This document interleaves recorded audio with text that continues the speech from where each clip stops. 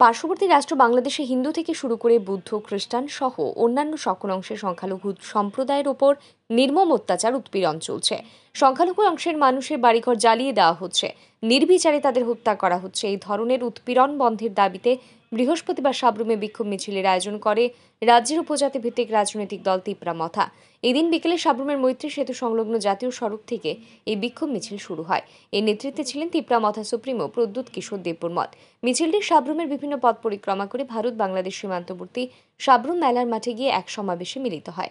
এই সমাবেশে বক্তব্য রাখেন তিপ্রা মথা সুপ্রিমো প্রদ্যুৎ কিশোর দেববর্মন। তিনি বলেন, পার্শ্ববর্তী রাষ্ট্র বাংলাদেশে সংখ্যালঘু সম্প্রদায়ের মানুষের সাথে রাজ্যের মহারাজার হৃদয়ের সম্পর্ক ছিল।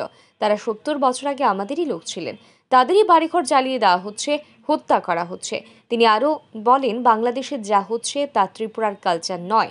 ত্রিপুরার মহারাজা রাজ্যে জাতি, জনজাতি, খ্রিস্টান, বৌদ্ধ, মুসলিম সকল সম্প্রদায়ের জনগণকে নিয়ে থাকতেন এখানে আমরা সবাই সমান এখনও রাজবাড়িতে মুসলিম ভাইরে গিয়ে নামাজ পড়েন आज उनके घर को जलाया जा रहा है उनका मंदिर को जलाया जा रहा है उनका चर्च को जलाया जा रहा है उनका खेत में उनको मारा जा रहा है उनका घर को जलाया जा रहा है और हम लोग सब इंडिया में चुप बैठे हैं मुझे दर्द लगता है क्योंकि हमारा कनेक्शन इस बॉर्डर के उस पार सिर्फ़ 50 साल 60 साल का नहीं है, हज़ारों साल पुराना है और हमारा दिल के अंदर भी,